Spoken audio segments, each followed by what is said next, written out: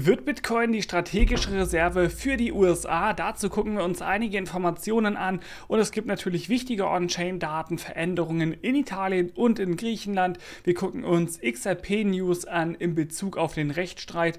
Wird er vielleicht sogar niedergelegt? Da gibt es einige Neuigkeiten zu. Lass also noch schnell einen Daumen nach oben da und damit starten wir natürlich direkt rein ins Thema. Das allererste Thema, was wir mitbekommen haben, das sind nämlich Gerüchte, dass Donald Trump in dem Moment, wo er die nächste Amtszeit antritt, gegebenenfalls Bitcoin als strategische Reserve anhäufen möchte. Und das würde vor allem damit in Einklang stehen, dass er sich ja sowieso immer so positioniert, dass America First kommt. Und das ist natürlich eine ziemlich interessante Thematik, denn aktuell wissen wir, dass die USA 215.000 Bitcoin hält und erst dann China, dann UK UK und so weiter folgt. Ja, hier sind die Daten natürlich nicht mehr ganz korrekt. Deutschland hat mittlerweile die 50.000 BTC abverkauft. Das heißt also, hier sind wir natürlich deutlich stärker abgerutscht. Sollte das tatsächlich dazu führen, dass Donald Trump das Thema angeht, dann wäre das natürlich eine gewaltige Entwicklung und würde automatisch unheimlich viele Türen öffnen. Wir haben in dem Fall dann eine der größten Volkswirtschaften des Planeten, die sich dann nicht nur mit dem Thema auseinandersetzen, sondern die vor allem auch andere Länder dazu animieren könnten, dann eben auch auf Bitcoin zu setzen und hier entsprechende Reserven aufzubauen. Und dann kommen natürlich unsere Vorteile Vorteile sofort eben auch zum Tragen diese maximale Limitierung von 21 Millionen Stück. Und das kann uns natürlich direkt diesen Boost geben, den wir hier eigentlich gerne haben möchten. Natürlich muss man aber auch hier erst einmal geduldig sein und uns angucken, oder wir müssen uns angucken, was jetzt hier eigentlich politisch genau passiert. Wir wissen, dass wir erst Ende des Jahres die Wahlen sehen werden. Und auch dann ist immer noch die Frage, ist das hier nur ein politisches Instrument, Bitcoin ins Spiel zu zu bringen oder gibt es hier wirklich Ideen und Anregungen oder vielleicht sogar Themen, die Donald Trump dann mit seinem ja, Gefolgsleuten und so weiter umsetzen möchte? Das werden wir gemeinsam herausfinden und sobald es da Informationen gibt, werde ich dich selbstverständlich auf dem Laufenden halten. Das zweite wichtige Thema sind natürlich On-Chain-Daten, die wir uns einmal angucken sollten.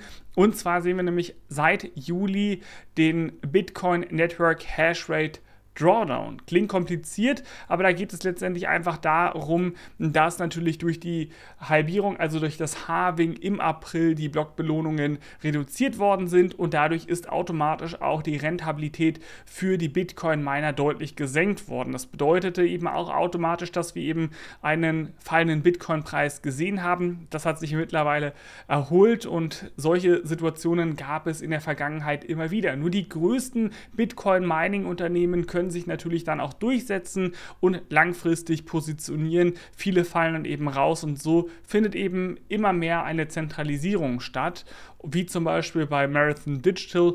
Die halten mittlerweile über 18.500 BTC und haben sich vor allem, und das ist das Spannende daran, sich nicht dazu entschieden, ihre Bitcoin-Bestände abzustoßen. Das heißt also, wir haben zwar eine sinkende Mining-Rentabilität, aber auf der anderen Seite ist die Netzwerksicherheit immer noch unheimlich hoch und wir haben aufgrund dieser ganzen Thematik trotzdem keine großen Abverkäufe der Miner gesehen. Natürlich gab es kleinere Parteien, die abgestoßen haben, also ihre Bestände abverkauft haben, aber die großen Player, die haben eher Bestände akkumuliert und das natürlich ziemlich positiv für den gesamten Markt.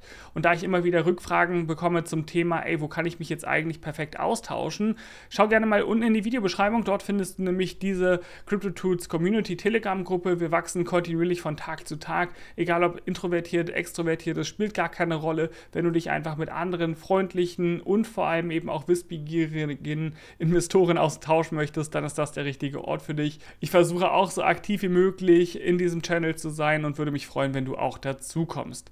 Das nächste Thema, das wir uns ansehen sollten, da geht es vor allem um Italien und auch um Griechenland. Unter anderem ist es nämlich so, dass die staatliche Bank Casa Depositi e Prestiti SPA, ich kann es überhaupt nicht aussprechen, muss ich zugeben, zugeben, mittlerweile sich dazu entschieden hat, digitale Anleihen im Wert von über 27 Millionen US-Dollar aufzubauen unter der Verwendung von ETH Layer 2 Polygon. Und das ist ziemlich spannend, denn das ist quasi der Versuch der Europäischen Zentralbank zur Erforschung neuer Lösungen für die Abwicklung von Transaktionen mit Zentralbankgeld auf Blockchain-Basis. Und diese Anleihen laufen über vier Monate bis zum 18. November 2024. Und hier sehen wir quasi den ersten Schritt, sich mit dem Thema Blockchain und traditionellen Zahlungssystemen äh, zu beschäftigen. Und es gab eben auch in Griechenland jetzt die Idee, eine Krypto- oder digitale Assets-Steuer aufzubauen. Das möchte man nun umsetzen. Das bedeutet also Kapitalgewinne Gewinne aus dem Verkauf von Wertpapieren mit 15% soll das Ganze besteuert werden. Und natürlich soll es auch hier Gesetzeslücken geben, die dann geschlossen werden, ähnlich wie wir das in anderen Ländern auch schon gesehen haben. Dann gibt es gerade in Bezug auf die Bitcoin Spot ETFs einiges an Bewegung. Das haben wir auch die letzten Tage schon mitbekommen. Gerade BlackRock hat es hinbekommen, ihre Investoren hier wirklich aktiv zu steuern und sie davon zu überzeugen, dass es Sinn macht, die ja, Assets hier eben auch zu kaufen. Und das führte letztendlich dazu, dass wir auch gestern wieder 102 Millionen US-Dollar an Inflows gesehen haben. Den Tag zuvor 110, den Tag zuvor 260 Millionen. Das macht richtig viel Spaß und es gibt zwar wenige Investoren, gerade die unglaublich viel Optimismus verspüren und das ist gerade messbar durch zum Beispiel die Daten von Sentiment hier in Gelb eingezeichnet. Das sind nämlich die Kommentare in Bezug auf Bitcoin oder in Bezug auf äh, Kryptowährungen und hier sehen wir natürlich einen massiven Einbruch. Es gibt also grundsätzlich weniger Kommentare, weniger Interaktionen zum Thema Social Media in den letzten vier Monaten und das passt natürlich eben auch zu äh, der aktuellen Situation, die wir gerade äh, wahrnehmen. Aber trotzdem wissen wir auch, dass gerade die Situationen als Buy the Dip äh, Möglichkeiten wahrgenommen werden und das ist vor allem dann passiert, als wir eben preistechnisch bei ungefähr 53.600 US-Dollar unterwegs waren. Auch der Fear and Greed Index ist mittlerweile wieder etwas positiver geworden. Und gerade wenn man sich eben, wie gesagt, diese ganzen institutionellen Investoren anguckt, dann ist die Tendenz klar, man baut hier kontinuierlich Bestände auf, weil man ganz klar weiß, was in der nächsten Zeit vor uns stehen wird. Wir werden nämlich einen sehr, sehr brisanten und positiven Bullrun erleben und darauf freue ich mich extrem und ich werde dich natürlich auch im Laufe der Zeit hier kontinuierlich auf dem Laufenden halten. Und auch die letzten Tage habe ich mich immer wieder mit dem Thema XRP beschäftigt und auch hier gibt es die Hoffnung von vielen verschiedenen Investoren, dass der Rechtsstreit endlich komplett erledigt sein kann. Und eigentlich war es hier geplant, dass am 18. Juli ein Meeting stattfinden sollte. Das wurde dann aber leider Gottes abgesagt. Und bei diesem Meeting sollte es sehr wahrscheinlich um die laufende Klage gegen Ripple gehen. Und die Absage ohne Gründe ähm, er sorgte letztendlich natürlich für Enttäuschung, äh, für ähm, Spekulationen in der ganzen ja, Szene. Und wir sehen eben auch in dem Atemzug, dass der Preis hier noch nochmal um knapp 10% rückläufig äh, war. Viele vermuten nun, dass äh, die bevorstehende Genehmigung der ganzen ETH-ETFs erst einmal im Vordergrund steht. Darauf möchte sich die SEC erst einmal fokussieren und erst dann soll eben die Beilegung der Rechtsstreitigkeiten zwischen der SEC und Ripple dann endlich durchgeführt werden. Wir wissen ja, dass die SEC von Ripple eine Strafe von 2 Milliarden US-Dollar fordert und Jetzt wissen wir natürlich aber auf der anderen Seite auch, dass das Handelsvolumen gerade mit diesem Anstieg hier ziemlich explosionsartig angestiegen ist, dass der Open Interest auf einen lokalen Höchststand eben steigen konnte. Und das führt letztendlich zu Hoffnungen.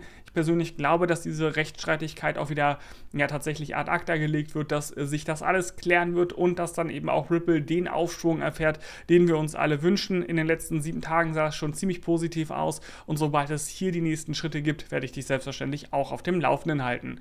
Kommen wir noch zu einem Thema, das wir uns unbedingt ansehen sollten und zwar geht es hier um Deutschland. Deutschland hat, wie wir alle wissen, hier unter einige Schwierigkeiten und ich habe hier eine sehr spannende Grafik rausgesucht zum Thema Sozialausgaben Ausgaben und zum Thema Bruttoinlandsprodukt. Und dazu würde mich natürlich auch erstmal deine Meinung interessieren. Was denkst du, warum die Sozialausgaben gestiegen sind, beziehungsweise warum sich das Bruttoinlandsprodukt kaum bewegt hat? Schreib es gerne mal unten in die Kommentare. Ich persönlich glaube, mit der Recherche, die ich dann eben auch betrieben habe, dass das vor allem daran liegt, dass wir unter anderem vor allem Leistungen für alte Menschen und für Hinterbliebene äh, zu leisten haben. Also in dem Fall spreche ich natürlich von Deutschland. Wir sprechen hier 2022 von über 475 Milliarden Euro, äh, die das ausmacht. Außerdem haben äh, oder hat Deutschland Ausgaben für Krankheiten, Invalidität.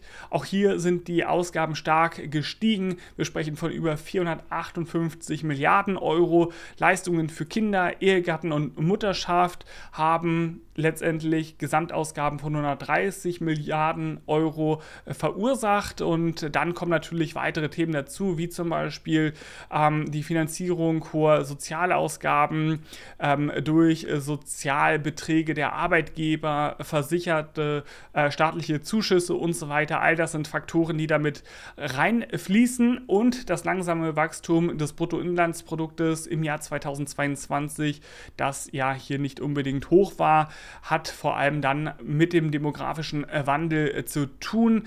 Das könnte eine mögliche These sein, aber du hast sicherlich auch noch mal einige Gedanken äh, dazu. Was wir außerdem mitbekommen, ist eben, dass wir gerade im Immobiliensektor wirklich große Probleme haben.